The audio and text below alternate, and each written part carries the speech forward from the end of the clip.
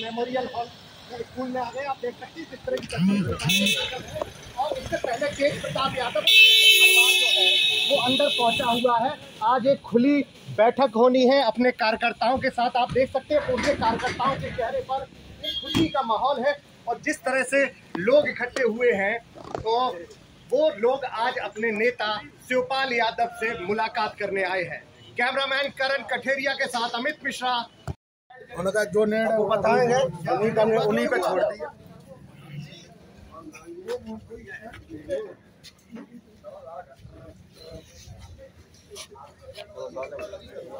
आज ये मान लो संसद से निकल रहे हो।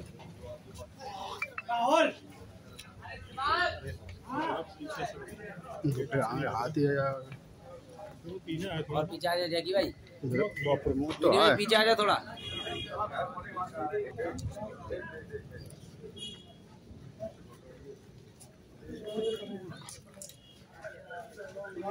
नमस्कार नमस्कार मीडिया भाई बहुत करीब करीब डेढ़ घंटा चल रही।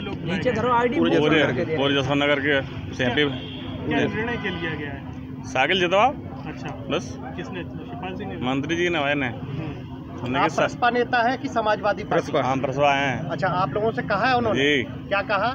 साइकिल जतवा टेंपल को जितवा मेरी बहू है वो बड़ी बहू है। अच्छा ये सभी लोगों से सबसे कह दी। जसवंत नगर विधानसभा के लोग थे कि सब आते हम तो वहीं के। हम तो भाभी चेयरमैन और वहाँ के जसवंत नगर के। चेयरमैन फिर लड़े हैं दोबारा। फिर अब क्या नेताजी के आदेश का पालन? बिल्कुल।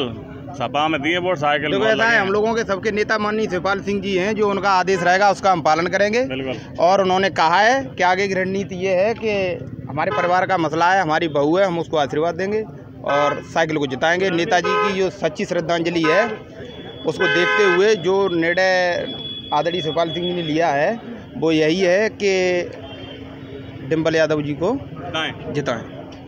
और आप हमसे जुड़े रहने के लिए सब्सक्राइब करें यूट्यूब पर फॉलो करें ट्विटर पर और लाइक करें फेसबुक पर। और ज़्यादा जानकारी के लिए आपको टाइप करना होगा सिर्फ़ न्यूज़ नशा।